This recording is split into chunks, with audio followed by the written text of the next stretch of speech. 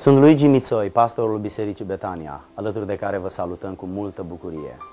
Stimați prieteni și frați creștini, apreciem interesul dumneavoastră pentru înțelegerea Scripturilor și vă încurajăm să credeți promisiunile lui Dumnezeu din Biblie și să-L cunoașteți în mod personal pe Mântuitorul Iisus Hristos. El este Salvatorul și Medicul Suprem. El este soluția lui Dumnezeu la toate problemele dumneavoastră. Vă mulțumim că veți rămâne alături de noi ascultând mesajul care urmează. Vă dorim din toată inima un timp minunat, alături de Cuvântul lui Dumnezeu. Frați și surori, inima noastră este deschisă acum să ascultăm Evanghelia Domnului Isus Hristos. De aceea vă invit să vă deschideți Scripturile și ridicându-ne în picioare să citim. Faptele Apostolilor, capitolul 2.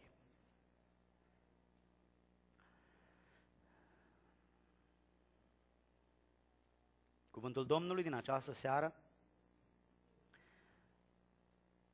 este de la Faptele Apostolilor, capitolul 2, versetele începând cu 1 și terminând cu 11. În ziua cinzecimii erau toți împreună în același loc. Deodată a venit din cer un sunet ca vâjit unui vânt puternic și a umplut toată casa unde ședeau ei. Niște limbi ca de foc au fost văzute împărțindu-se printre ei și s-au așezat câte una pe fiecare din ei. Și toți s-au umplut de Duhul Sfânt și au început să vorbească în alte limbi, după cum le da Duhul să vorbească. Și se aflau atunci în Ierusalim iudei, oameni cu cernici din toate neamurile care sunt sub cer. Când s-a auzit sunetul acela, mulțimea s-a adunat și a rămas încremenită, pentru că fiecare îi auzea vorbind în limba lui. Toți se mirau, se minunau și ziceau unii către alții. Toți aceștia care vorbesc nu sunt galileeni? Cum dar îi auzim vorbind fiecăruia din noi în limba noastră în care ne-am născut? Parți, mezi, elamiți, locuitori din Mesopotamia, Iudea, Capadocia, Pont, Asia, Frigia, Pamfilia, Egipt, părțile Libiei, dinspre Cirena, oaspeți din Roma, iudei sau prozeliți, cretani și arabi. Îi auzim vorbind în limbile noastre lucrurile minunate ale lui Dumnezeu. Amin. Frați și surori, reocupați-vă locurile. În seara aceasta suntem onorați de ocazia pe care o avem să cercetăm în continuare învățând cuvântul Domnului în ciclul de lecții biblice numit Darurile Spirituale. Am ajuns prin harul și ajutorul lui Dumnezeu în această seară la lecția numărul 10, respectiv la darul vorbirii în alte limbi. Aș vrea să ne concentrăm atenția și cu maturitate, cu dragoste de cuvântul Domnului, cu respect, să privim în Scripturi și în seara aceasta să ne îndeletnicim cu cercetarea Evangheliei Domnului nostru Isus Hristos. În primul rând, un cuvânt de introducere. Darul vorbirii în limbi, alături de celelalte daruri de vorbire sau de inspirație, respectiv prorocia și tălmăcirea limbilor, ca și alături de darurile de descoperire, respectiv darul despre înțelepciune, cunoștință și deosebirea duhurilor. Sunt daruri care, prin înțelegerea sau folosirea lor greșită, au dat naștere la foarte multă confuzie. În contextul unei biserici din diaspora, precum Biserica Betania, unde comunitatea, unde biserica este formată din oameni veniți din toate părțile și interpretarea este relativ diferită, intenția de a aborda acest subiect este puțin dificilă. Scopul cu care eu abordez acest subiect biblic este unul respectos, să continuăm să învățăm cuvântul lui Dumnezeu și în felul acesta să dăm o direcție clară Bisericii Domnului. Prezentând felul în care noi cunoaștem și trăim Evanghelia Domnului Isus Hristos în Biserica Betania. Nu experiențele noastre sau ale altora hotărăsc doctrinele bisericii, ci Biblia și învățăturile ei. Experiențele noastre doar confirmă adevărurile Bibliei și confirmă trăirea noastră în interiorul împărăției lui Dumnezeu ca fiind parte componentă a împărăției. Trebuie să recunoaștem că acest subiect biblic, ca multe altele, este folosit de predicatori ca și un subiect general să entuziasmeze poporul, pentru că orice predicator știe că poporului îi place subiectul acesta, noțiunea despre Duhul Sfânt. De aceea foarte des predicatorii la modul general vor vorbi tot timpul despre asta cu intenția să entuziasmeze, să ridice în pasiune poporul. Însă cei mai mulți vor ocoli explicația concretă și profundă, în detaliu, prezentarea modului și locul de aplicabilitate în viața personală și în biserică a acestui dar și a darurilor vecine cu vorbirea în limbi. La fel de adevărat este că predicatorii care sunt tentați să vorbească despre acest subiect,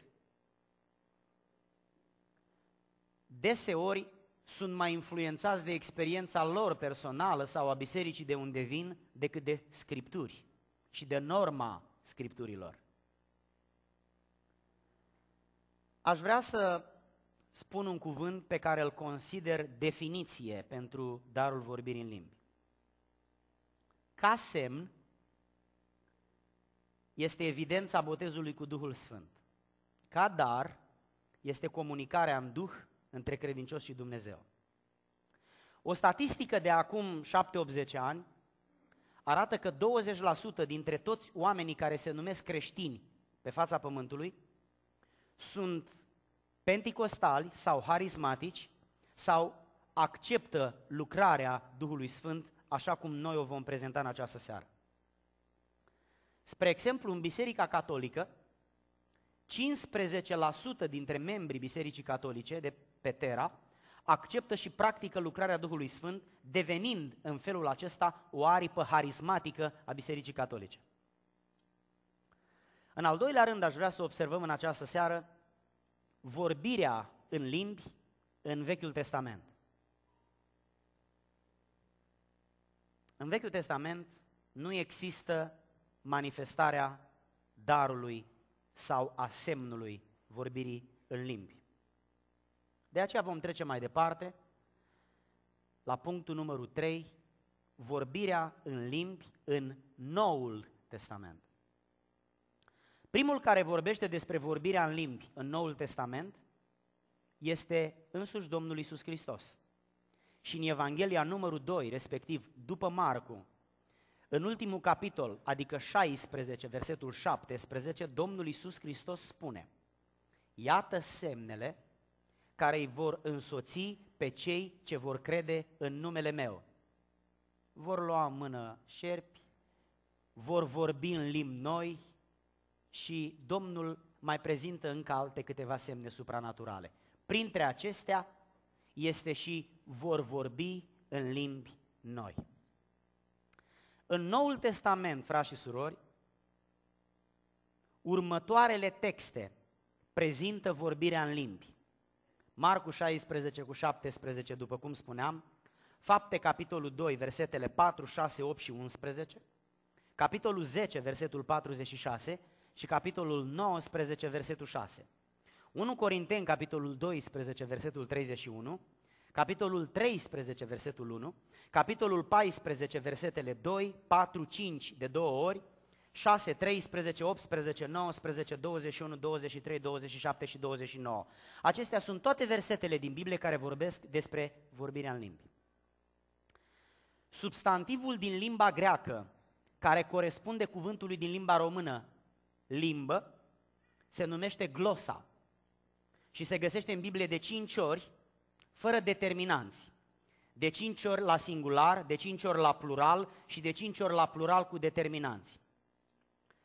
Termenul glosa, adică limbă, apare ca și instrument de vorbit de 11 ori în Biblie, ca și limb de foc cu sens figurativ o dată în Biblie și ca și limbă de comunicare de 8 ori în Biblie. Cu privire la vorbirea în limbi, Biblia folosește cinci termeni, cinci expresii. Prima este în Marcu 16 cu 17, despre care tocmai spuneam, limbi noi. A doua este în Fapte, capitolul 2, versetul 4, alte limbi. A treia în 1 Corinteni, capitolul 12, versetul 10, felurite limbi. A treia este în fapte 10, 4, 6, dar și în 19 cu 6, respectiv în Cezarea și în Efes, în limbi. Și ultima este în 1 Corinteni 14 cu 2, limbi necunoscute. Vorbirea în limbi, frați și surori, este o comunicare într-o limbă străină cunoscută doar de Dumnezeu, dacă nu este tălmăcită. Nu-i cunoscută nici de cel ce vorbește și nici de cei ce aud. Mai târziu puțin vom face o diferență între cei ce aud. Chiar dacă în mod rațional cei ce vorbesc nu înțeleg nimic inteligibil, omul care vorbește, credinciosul care vorbește, cu Duhul spune taine și spunând cuvinte într-o limbă neînțeleasă, el în Duhul se zidește, măcar că mintea, adică capacitățile, facu- facultățile de gândire rămân fără rod. În Corint, din lipsă de maturitate, dar și de respect față de ceilalți membri, frați și surori veniți la închinare, fiecare vorbea în limbi după cum dorea. Sau vorbeau în limbi trei sau patru fără să tălmăcească. Și Pavel se vede pus în situația să reglementeze această situație de dezordine, care zidea 2, 3, 4, 5 și îi deranja pe ceilalți din jurul lor. De aceea, în 1 Corinteni, capitolul 14, versetele 27 și 28, Apostolul Pavel face câteva reglementări și vă rog, deschideți scripturile acolo și uitați-vă în cele două versete biblice. 1. Prima reglementare pe care o face Pavel, în public să se vorbească în limbi numai dacă cineva tălmăcește, ori cel ce vorbește, ori un alt credincios. Altfel, serviciul este ocupat cu o singură persoană care se îngrijește de el să se zidească timp în care vorbește în limbi? Este ca și cum cineva ar cânta singur pentru el o cântare, timp în care noi toți cântăm o altă cântare de pe scrin. Este ca și cum dumneavoastră toți ascultați predica și să zicem că unul dintre noi se duce undeva în mijlocul bisericii și predică și el. A doua reglementare pe care o face Pavel. În timpul serviciului, în timpul închinării, să vorbească doi, cel mult trei. Cu condiția ca cineva să tălmăcească. A treia reglementare, să vorbească pe rând, pentru că scopul nu e vorbirea, scopul este înțelegerea vorbirii. Ori nu poți să înțelegi doi oameni deodată, după cum niciodată eu nu pun doi soliști să cânte fiecare câte o cântare diferită în același timp. Dacă cântă doi, cântă aceeași cântare, dar nu fiecare cântarea lui. Pentru că n-am înțelege nici pe unul, nici pe altul. Și biserica n-ar avea nicio zidire sufletească, pentru că nu ar înțelege cuvintele. Cei ce cântă s-ar zidi, dar cei ce ascultă n-ar pricepe nimic. Ori scopul adunării noastre împreună este să ne zidim, să ne sfătuim, să ne învățăm unii pe alții. Ori noi avem capacitatea să auzim un singur om când vorbește și, și atunci în limba maternă într-o limbă pe care o cunoaștem, pe care o înțelegem. A patra reglementare. Dacă cel sau cei pe rând care vorbesc în limbi nu este nimeni să tălmăcească, el sau ei trebuie să tacă. În al patrulea rând, frați și surori, aș vrea să redeschidem Scriptura la 1 Corinteni, capitolul 14, și să observăm aici în acest capitol unde Pavel tratează prin excelență, așa cum în capitolul 13 tratează dragostea, în capitolul 14 tratează vorbirea în limbi și prorocia. și să facem o radiografie a capitolului 14 din punct de vedere al intenției noastre de a înțelege vorbirea în limbi și felul în care ea trebuie folosită în Biserica Domnului. În capitolul 14 din 1 Corinteni este cea mai profundă învățătură a lui Pavel în legătură cu vorbirea în limbi. Cuvântul vorbire în limbi, în capitolele 12 și 14, le vom întâlni de 23 de ori. Se pare că scopul lui Pavel în capitolul 14 este să corecteze atitudinile greșite ale corintenilor, să corecteze preferința lor unilaterală în manifestarea acestui dar în care se întreceau. Apostolul vrea să facă, prin ceea ce scrie în capitolul 14, două lucruri. Unu, să reglementeze manifestarea în biserică a prorociei și a vorbirii în limbi, a relației dintre ele, dar și a priorităților. Și doi, să trateze ordinea și disciplina în timpul închinării din părtășia frățească publică. Este sugestiv, frați și surori, că apostolul Pavel așează între capitolul 12, unde prezintă cele nouă daruri, și capitolul 14, unde tratează darul prorociei și al vorbirii în limbi, așează capitolul 13, la jumătate, care este capitolul unde el vorbește despre dragoste. Pentru că reglementările făcute de Pavel în legătură cu vorbirea în limbi nu vor fi acceptate de oameni care nu au dragoste pentru comunitate. Adică, dacă pe mine nu mă interesează de frații mei, atunci pe mine nu mă interesează că îi deranjez. Și nu mă interesează că ei nu au nicio zidire sufletească, eu mă zidesc pe mine. Ei să fie sănătoși, să se, zidea, să se zidească mâine. Dar dacă eu am dragoste și îmi pasă de adunare și înțeleg că fiecare vrea în timpul acesta să se zidească, atunci eu voi înțelege că atunci când avem o închinare publică nu face fiecare ce vrea și nici ce simte, și face fiecare ce trebuie. Ori ca să știm ce trebuie, trebuie să avem aceleași reguli. Pentru că dacă joacă fiecare cu regulile lui, unul spune eu am regula să trec pe verde, altul spune eu am regula să trec pe roșu. Trebuie neapărat să punem următoarea regulă. Toți trec pe verde și toți se opresc la roșu. Dacă facem așa, vom reuși fără să ne cumpărăm alte mașini.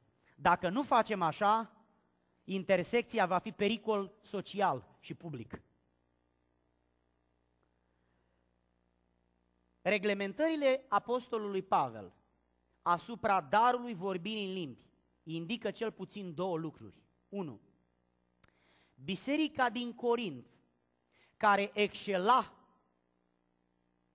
la capitolul daruri spirituale, nu a înțeles scopul darului vorbirii în limbi, drept pentru care l-a folosit greșit. Cel mai bun dar, cea mai bună slujbă, dacă nu și înțelege locul în timp și spațiu, nu se așează în relația cu ceilalți, poate deveni foarte păgubitoare.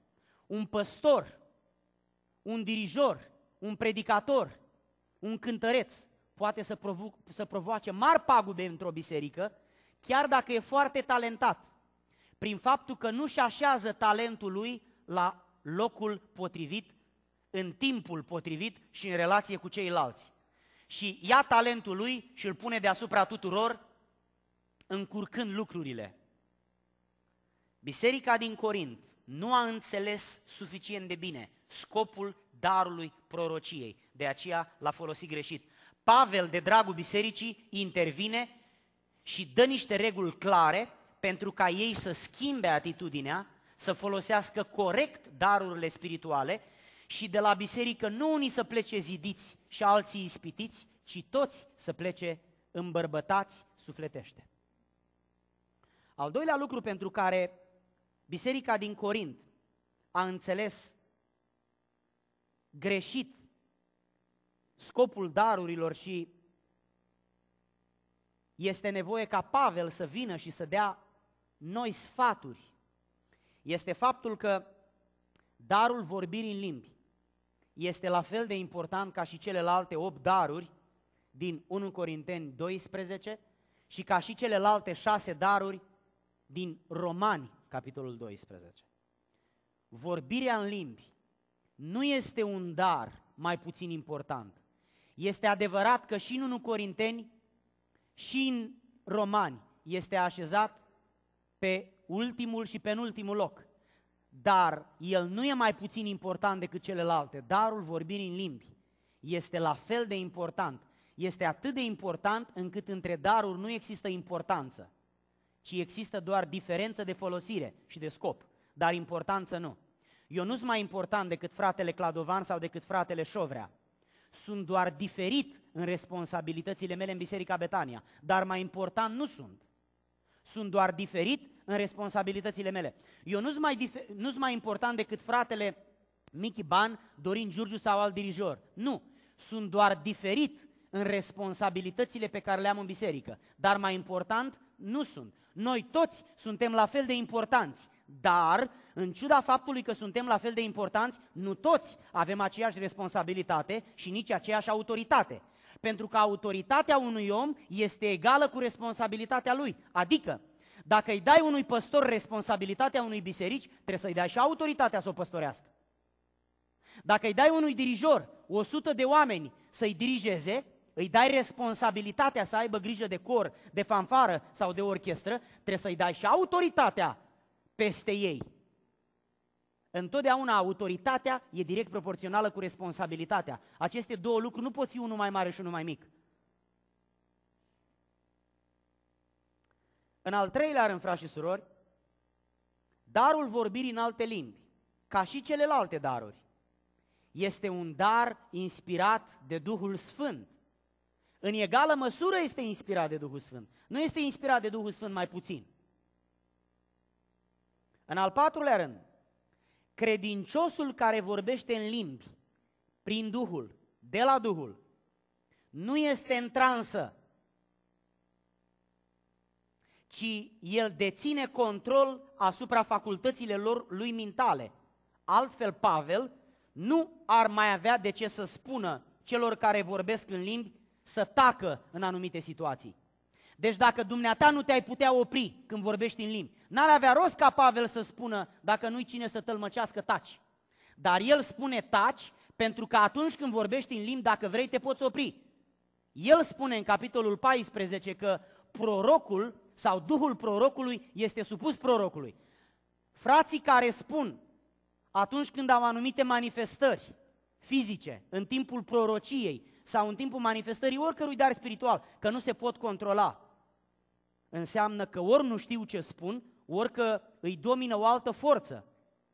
Duhul lui Dumnezeu nu posedă, el inspiră, numai diavolul posedă. Diavolul, dacă vă aduceți aminte din Evanghelie, îl poseda pe un bărbat și l arunca cât în, când în foc, când în apă și bietul om nu mai avea control asupra atitudinilor lui, asupra deciziilor. Dar bărbatul sau femeia care este inspirat de Duhul, când vrea el să se oprească, se oprește. Atitudinea lui fizică nu poate fi oricum și el spune, nu pot să mă controlez că sunt sub putere. Frați și surori, Duhul prorocului este supus prorocului. Repet, numai forțele demonice posedă. Duhul Sfânt inspiră, călăuzește, dar respectă personalitatea slujitorului. În al cincilea rând, vorbirea în limbi este necunoscută și pentru cel ce vorbește și pentru cei ce aud, dacă aceasta nu e tălmăcită. Singurul care o înțelege e Dumnezeu, că de fapt către el este adresată. Excepție face vorbirea în limbi din Ierusalim. Fapte, capitolul 2, unde am citit în această seară. Unde întâlnim nu glosolalia, e un cuvânt din limba greacă pe care am să-l explic imediat, ci xenolalia. Sunt două cuvinte care în originalul grecesc fac sens. Eu le spun nu ca să încurc pe cineva, ci le spun doar pentru că cei mai mulți dintre oamenii care aud predica aceasta aici, în realitate, sau pe casetă, sunt doritori de explicații mai adânci. Glosolalia, acest cuvânt din limba greacă, care e format din două cuvinte, înseamnă a vorbi în limbi. Este un cuvânt grecesc format din glosa, care înseamnă limbă, și format din laleo, care înseamnă a vorbi. Glosolalia, a vorbi în limbi. Cei care veți citi scrieri teologice despre vorbirea în limbi, veți întâlni cuvântul glosolalia. Cei care faceți un seminar biblic, veți întâlni cuvântul glosolalia. Glosolalia este a vorbi în limbi și se referă în mod special la vorbirea în limbi din 1 Corinteni. Al doilea termen pe care îl întâlnim este xenolalia. Este de asemenea un cuvânt din limba greacă, că tot Noul Testament a fost scris în limba greacă, de aceea ne tot ducem acolo, nu că vrem să ne dăm aere de predicatori, ci pentru că vrem să explicăm ce au înțeles apostolii în limba care s-au exprimat. Xenolalia înseamnă a vorbi în limbi străine, a vorbi în limbi străine de mine, dar cunoscute de alții. Pentru că xenon înseamnă străin de mine. Bună oară, limba japoneză este străină de mine, însă sunt mulți oameni care o cunosc. Ăia sunt numiți japonezi. Vorbirea în limbi, glosolalia, nu este o bolboroseală, ci este foarte probabil o vorbire îngerească, după cum Pavel spune la 1 Corinteni, capitolul 13, versetul 1, nefiind înțeleasă din pricina aceasta de oameni, numai dacă e tălmăcită. În al șaptelea rând, dacă în Ierusalim, fapte capitolul 2, limbile erau un semn supranatural, dar inteligibil pentru cei necredincioși adunați la sărbătoare, în Corint, capitolul 14, limbile sunt un dar. În Ierusalim a fost un semn, în 1 Corinteni sunt un dar. Și vom ajunge foarte probabil, dacă vom avea timp, puțin mai târziu, să facem deosebire între semn și dar, între scopul unuia și scopul altuia.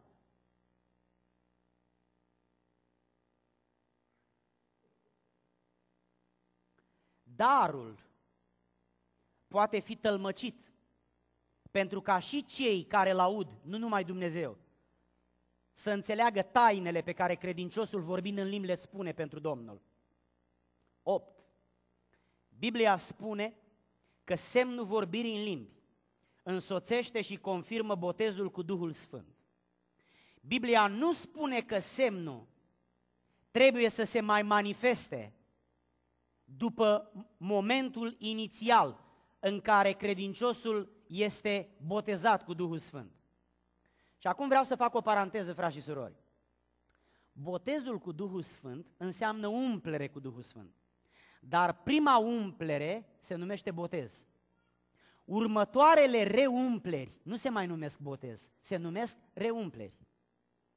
Prima umplere însă se numește botez cu Duhul Sfânt atunci e nevoie de un semn care confirmă.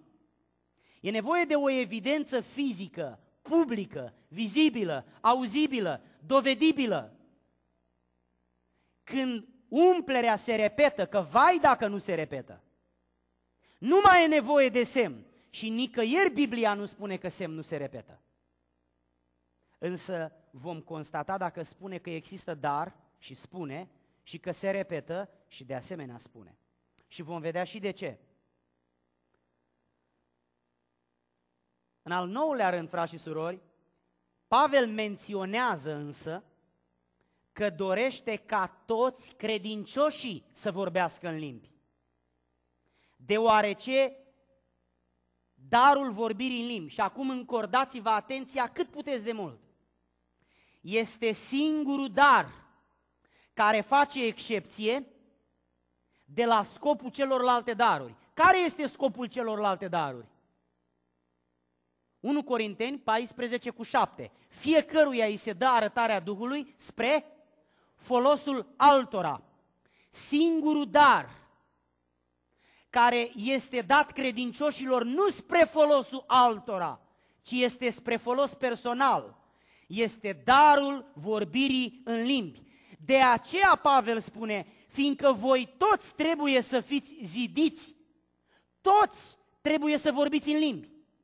Și el spune, vreau ca voi toți să vorbiți în limbi, pentru că În momentul în care toți veți vorbi în limbi, toți vă veți zidi sufletește.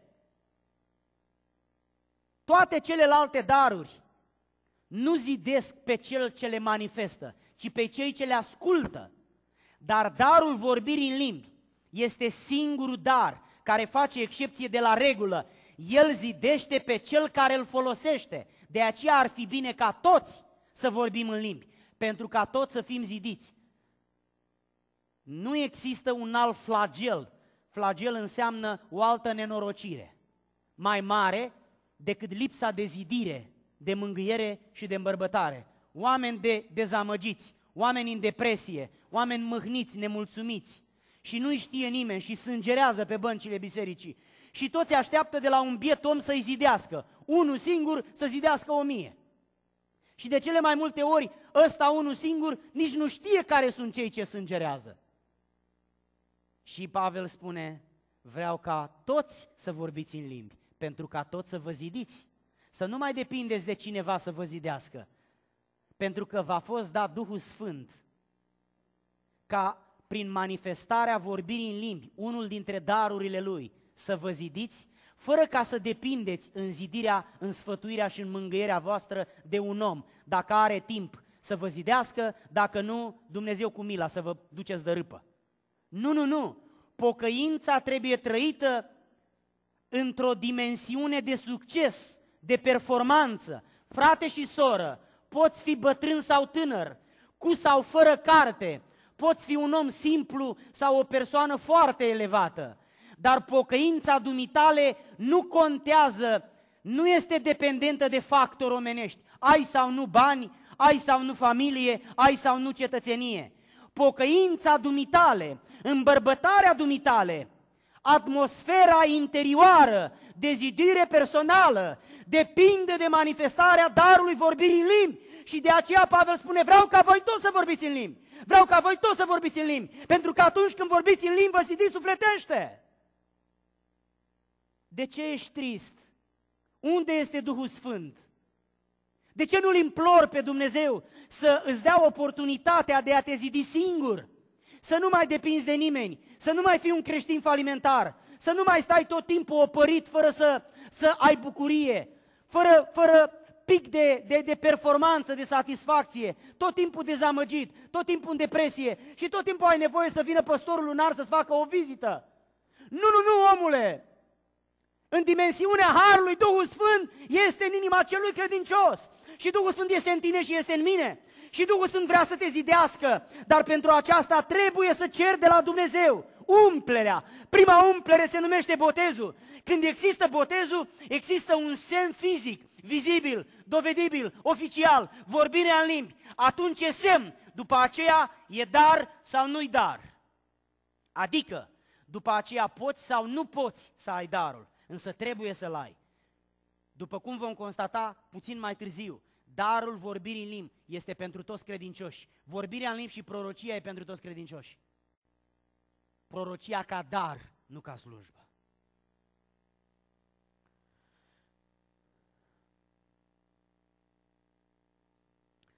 Iată o scurtă radiografie la 1 Corinteni, capitolul 14. Vă rog frumos să priviți în Biblia dumneavoastră.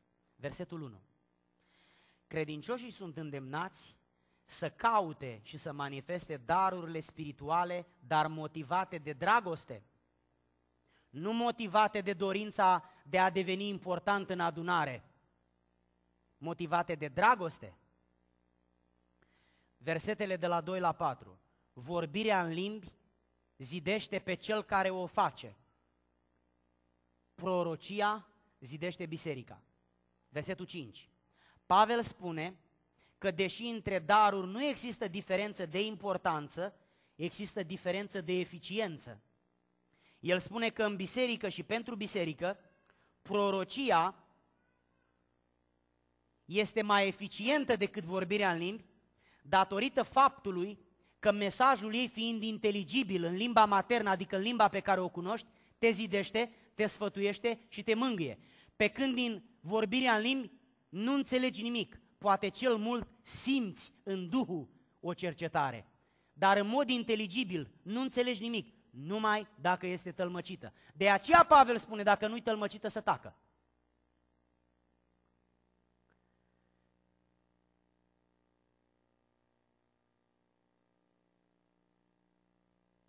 Versetele de la 6 la 11. Fără tălmăcire, vorbirea în limbi nu zidește, pentru că nu mă poate zidi dacă ascult o predică în limba malaeziană. Ce să înțeleg? Cum să mă pocăiesc dacă ascult o predică în limba malaeziană? Cum să mă pocăiesc dacă ascult o, cum să mă bucur dacă ascult o cântare în limba malaeziană? Cum să mă îmbărbătesc și să mă zidesc dacă ascult o vorbire în limbi în limba malaeziană? Nu înțeleg, nu știu nici cum se spune mulțumesc în limba malaeziană, nici cum se spune bună ziua, nu știu nicio vorbă. Ei, cum așteptați să mă zidesc dacă vorbirea nu mi-aduce nicio informație? Trebuie ca vorbirea aceea din malaeziană să fie tălmăcită în limba pe care o cunosc eu.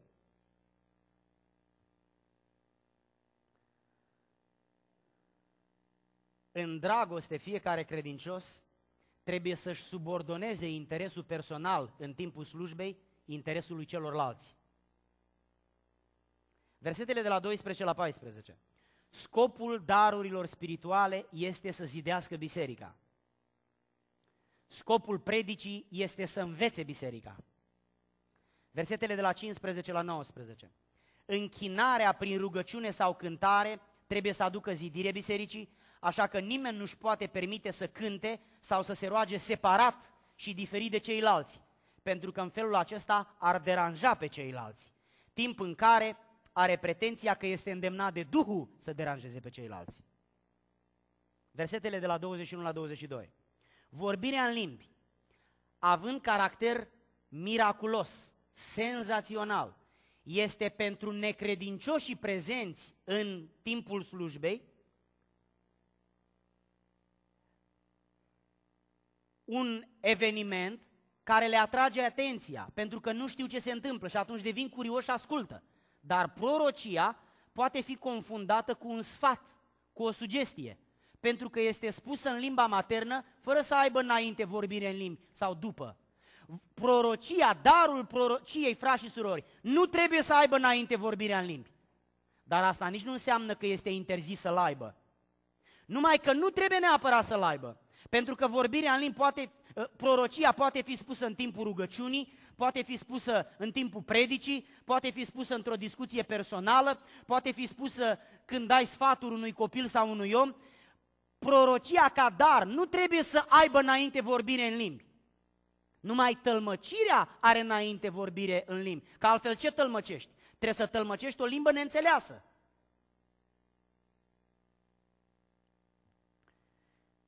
Versetele 23 la 25. Vorbirea neinteligibilă a credincioșilor în public este interpretată de cei necredincioși drept nebunie.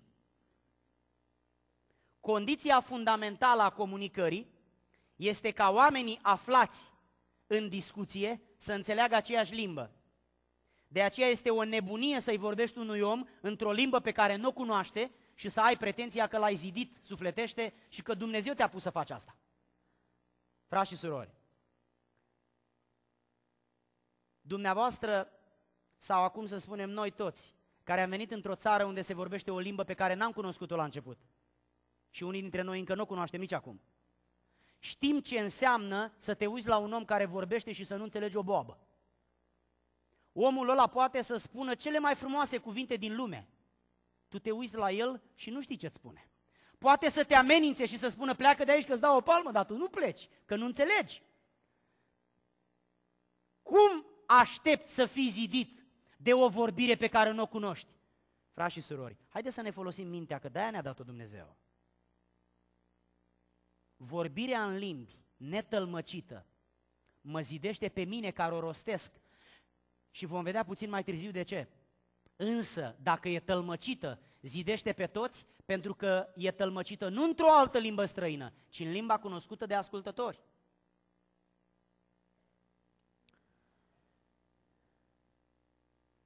versetele 32 la 33. Iertați-mă, 26 la 31 am omis. Am uitat. Într-o slujbă divină, totul trebuie să se facă cu rânduială, în baza unor reguli biblice, cu scopul să zidească biserica într-o atmosferă de disciplină, de rânduială și de dragoste. Acum versetele 32 și 33. Persoana care manifestă darul vorbirii în limbi are deplin control asupra lui, deci e responsabil și de atitudinea lui fizică și de cuvintele lui. Nu pot să fac oricum și să spun că sunt sub putere. Nu pot nici să spun orice și oricum și să spun că așa îmi dă Duhul. Nu! Duhul îmi dă mesajul. Cum îl, cum îl exprim e problema mea. Adică, acum eu vă spun o predică. Eu pot să spun predica asta și țipând și vorbind încet. Pot să spun predica asta și făcând așa și stând liniștit. Asta e o problemă de cum spui. Când Duhul Sfânt dă un mesaj, îți dă ce să spui, nu cum să spui. Cum să spui depinde de personalitatea celui care spune. Dacă e un om învățat, va folosi limbajul lui de om învățat. Dacă e un om mai de la țară, va vorbi în termeni mai de la țară. De aceea, frați și surori, să nu disprețuiți manifestările Duhului prin oameni simpli și să spuneți, păi Duhul Sfânt n-are minte, uite cum vorbește. Nu, Duhul Sfânt i-a dat mesajul, dar El îl codifică în cuvinte într-un vocabular pe care îl are El. Și se va manifesta în felul în care e El. Dacă este un coleric sau un sangvinic, va fi puțin mai rapid. Dacă e un melancolic sau un flegmatic, va fi puțin mai calm și mai liniștit. Felul în care manifestă Duhul, descoperirea, este în funcție de personalitatea lui. Duhul îi dă ce să spună, dar cum, se, cum să spună trece prin personalitatea omului credinciosului care manifestă darul, frați și surori.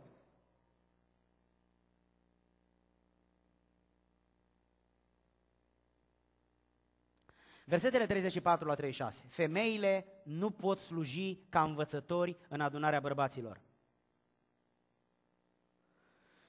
Iertați-mă.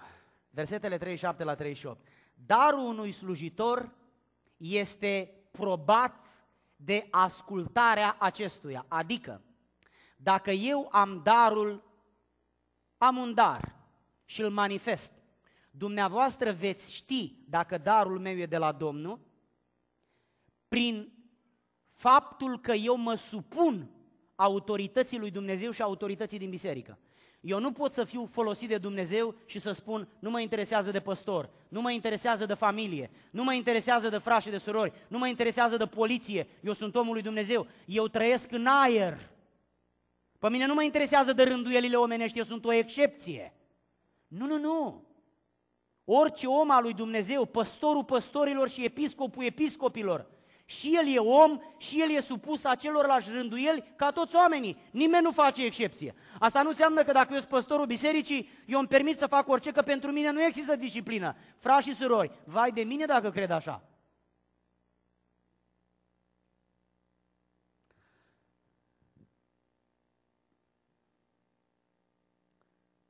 Pentru că timpul nostru este cu șase minute înainte să expire, și pentru că darul acesta e un dar cu mare aplicabilitate în Biserica Pentecostală și pentru că în inima mea există multă informație în legătură cu darul acesta, aș vrea nici să spun așa de grăbit lucrurile încât să nu înțeleagă nimeni nimic, nici să trec peste program o jumătate de oră să ispitesc pe cineva, ci aș vrea să mă opresc aici.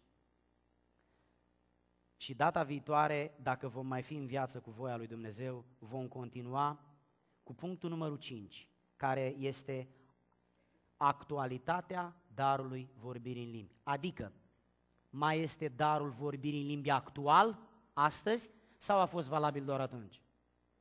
Însă, ne oprim acum aici, frați și surori, pentru ca să facem toate lucrurile cu rânduială.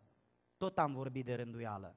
Însă în această seară vă privesc pe dumneavoastră ca pe niște credincioși care, pe lângă succesul pe care îl aveți în anumite domenii ale vieții, aveți parte și de necazuri, și de neîmpliniri, și de anumite probleme. Probleme cu sănătatea, probleme cu business-ul, cu banii, cu familia, soț, soție, copii, părinți, probleme sociale sau de altă natură. Problemele acestea te pot conduce într-o zi la dezamăgire, Și dezamăgirea aceasta poate ajunge atât de acută încât să te îndepărtezi de casa lui Dumnezeu. Încât să nu mai ai respect pentru Dumnezeu și să spui Dumnezeu nu există că nu mă ajută. În această seară vreau să-ți spun că Dumnezeu și-a făcut datoria. Și începând cu rusalile, cu cinzecimea, l-a dat pe Duhul Sfânt nu să locuiască în atmosferă, ci să locuiască în cei născuți din nou, pe care i-a umplut și prima umplere se numește botezul, iar mai apoi reumplere, reumplere, reumplere.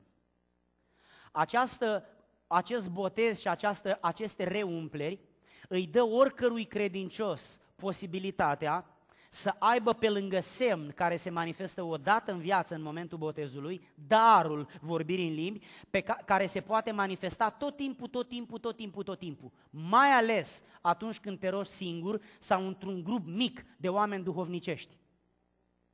Și în timpul acela să spui cuvinte care pentru intelectul uman n-au nici un înțeles. Mintea e fără rod cum, așa după cum vom vedea data viitoare, dar Duhul se zidește. Și eu care sunt un om lovit, să zicem, sau bolnav, sau trec printr-o perioadă de criză, de orice fel, și sunt dezamăgit și mă simt singur, atunci vorbirea în limbi zidește Duhul meu, pentru că în, în facultățile mentale eu am limite. Mintea omului, oricât de ascuțită ar fi, are limite. Dar Duhul, nefiind materie, nu mai are limite. El e nelimitat. Capacitatea de a te zidi în Duhul nu mai e limitată de facultățile omenești, materiale, carnale, ci este nelimitată. Și acolo, în dimensiunea Duhului, a Spiritului, Duh care se unește cu Duhul Sfânt, D mic cu D mare, există perspectiva de a te zidi, să fii zidit și ancorat în Isus Hristos și să știi că nu ți se întâmplă nimic, că ești în mâna lui Dumnezeu. Și să știi că prin orice probleme ai trece, Dumnezeu este cu tine. Și să știi că oamenii orice ar vrea să-ți facă, Dumnezeu nu le îngăduie. Și să știi că nici de întuneric, nici de oameni, nici de lipsuri, nici de datorii, de nimic altceva nu trebuie să-ți fie frică, pentru că Dumnezeu este cu tine și pentru că Duhul Sfânt locuiește în tine. Și atunci te vei zidi și te vei îmbărbăta. Dacă vei avea copilul bolnav, dacă vei avea soția bolnavă, dacă vei avea probleme în familie, atunci îți vei pune încrederea în Dumnezeu, pentru că te va zidi nu circumstanțele, circumstanțele te demolează, dar te zidește vorbirea în limbi, pentru că Duhul atunci se zidește. Mintea e fără rod, dar simți în tine o încurajare mare, pentru că Duhul acolo te zidește. De ce avem niște creștini leșinați? Avem niște creștini leșinați pentru că mintea este limitată și în fața circumstanțelor și a problemelor falimentează, dar Duhul în care ar trebui să existe puterea lui Dumnezeu este gol. Dar dacă în Duhul meu ar exista Duhul lui Dumnezeu, atunci eu m-aș zidi și aș fi un om zidit și vă veți mira de mine că trec prin necazuri, dar rămân în picioare. Nu rămân în picioare că mă cheamă lui Gimițoi, nu rămân în picioare că sunt păstor, nu rămân în picioare că am școli biblice, rămân în picioare pentru că mă zidesc prin Duhul. Mă rog prin Duhul, când prin Duhul. Ai nevoie de asta. Mintea ta nu ți este suficientă. Vor veni momente când nu mai ai explicații. Vor veni momente când nu mai ai soluții. Vor veni momente când nu mai vezi nicio ieșire, ești limitat, dar în Duhul ești nelimitat, pentru că te unești cu Duhul Sfânt și acolo te zidești. Ascultă-mă în această seară, tu trebuie să strigi la Domnul, tu trebuie să insisti și să te rogi, cum spune Luca. Dacă voi care sunteți oameni știți să dați daruri bune copiilor voștri, cu atât mai mult Tatăl vostru care este în ceruri va da Duhul Sfânt celor ce-L cer. Celor ce-L cer. De câte ori n-a fost nevoie să cerem insistent? Am mers și am spus, frate, te rog să-mi dai și fratele spune, îmi pare rău, nu pot. Frate, te rog, fieți milă și dă-mi. Sunt într-o situație nenorocită, frate, te rog, fac apel la, la omenia din tine, dăm te rog. Și atunci omul spune, pentru insistența ta supărătoare, măcar că n-aveam de gând să-ți dau, pentru insistența ta supărătoare, măcar că nu eram pregătit să-mi deschid inima, dar pentru insistența ta supărătoare, ia, ia odată, ia și lasă-mă. E bine, când mergem noi la Dumnezeu, dacă un om se înduplecă, dacă un om se înduplecă, dar când mergem noi la Tatăl nostru care ne-a dat viață și care de-a lungul anilor a investit în noi, ne-a iubit și ne-a protejat, ne-a vindecat și ne-a binecuvântat, cum nu ne va da El Duhul Sfânt dacă îl cerem? Frați și surori, în seara aceasta pe baza Evangheliei lui Isus Hristos să începem să ne sfințim. Să începem să postim și să ne rugăm. Și să începem să cerem fără să obosim. Constant, cu credință și așteptând să primim pentru ca să nu mai depindem în zidirea, în îmbărbătarea și în mângâierea noastră de oameni. Și de ei avem nevoie, dar să fim niște creștini maturi, niște creștini puternici. Să nu ne sperie bolile. Nu, nu, nu, toate și-au rostul lor. Să nu ne sperie moartea. Nu, nu, nu, ne duce acasă. Să nu ne sperie problemele. Nu, nu, nu, ne călesc, ne fortifică, ne zidesc. Dar dacă nu-L ai pe Duhul, când treci prin necazuri, singur, ți-e frică, te sperii, plângi și te închizi în peșteră. Te chem în această seară, oricine ești și oriunde ești. Deschideți inima și stai înaintea lui Dumnezeu. Și spune-i, Doamne, am avut sau încă mai am o înțelegere așa cum o am despre asta, pentru că nu m-a educat Scriptura, ci m-au educat sistemele religioase, oamenii cu părerile lor. Dar în această seară știu că nu fac niciun păcat dacă îți de Duhul Sfânt. Nu fac niciun păcat dacă tu ocupi ființa mea în cele mai mici detalii. Nu fac niciun păcat dacă îmi dai daruri. Vă chem în această seară la rugăciune, să ne rugăm Domnului împreună, pentru că e promisiunea lui Dumnezeu. Nu fi dezamăgit că nu ai primit. Nu fi dezamăgit. Nu, nu, nu. Cere, cere, cere. Pentru că nu există Dumnezeul Bibliei să-ți spună pleacă dacă mai te pocăiești, dacă mai ceri și dacă mai vrei să fii plin de El. Vă invit în această seară la rugăciune. Frați și surori, ne ridicăm cu toți în picioare și ne rugăm Domnului. Prin credință insistăm și nu ne rugăm doar acum, acum începem, dar ne vom ruga mereu și mereu, sfințindu-ne, postind și rugându-ne pentru ca Domnul să ne umple pe noi și casele noastre și biserica Lui. Ne rugăm împreună Domnului. Tatăl nostru care ești în ceruri, îți aducem onoare și glorie în seara aceasta. Ne închinăm înaintea Ta, Doamne, și te binecuvântăm în numele Lui Isus Hristos. Tu ești Dumnezeul care ai binecuvântat inima mea. Dacă mai aveți câteva minuțele, haideți să rămânem înaintea Domnului și să continuăm să ne rugăm prin cântarea de laudă. Acasă te așteaptă din nou biluri și multă muncă. Aici te așteaptă Dumnezeu. Acasă oamenii îți cer, aici Dumnezeu îți oferă. Mai zăbovește puțin și deschideți inima. Cântă, ridică-ți mâinile, deschide sufletul. Noi nu-ți putem oferi nimic, suntem doar niște oameni. Dar este aici Dumnezeu Dumnezeu care te-a vindecat probabil altă dată și care te-a mântuit.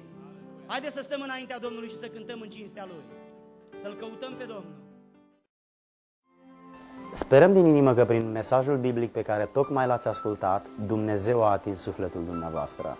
Vă încurajăm să reveniți alături de noi pe www.betani.cc sau pe www.bisericabetania.com pentru următorul mesaj.